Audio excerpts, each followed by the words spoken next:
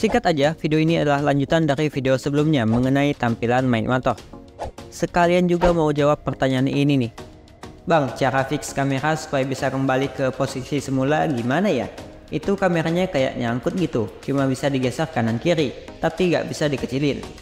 BTW itu namanya secondary viewport ya, bukan kamera. Oke, gua coba bikin contohnya. Apa yang beliau alami itu kurang lebih kayak gini.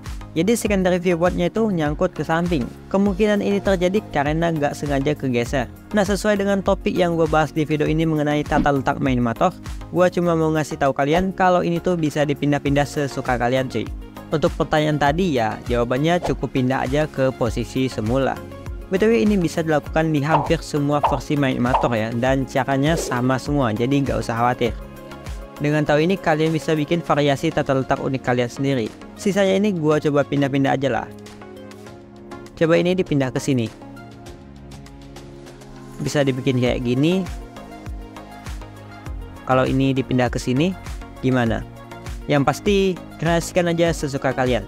Oh ya, khusus untuk versi 2.0 dengan cara menekan tombol ini, timeline dan secondary viewportnya bisa kalian keluarin sebagai Windows terpisah ya. Hmm, kayaknya udah deh. Jadi itu doang yang mau gue kasih tahu ke kalian.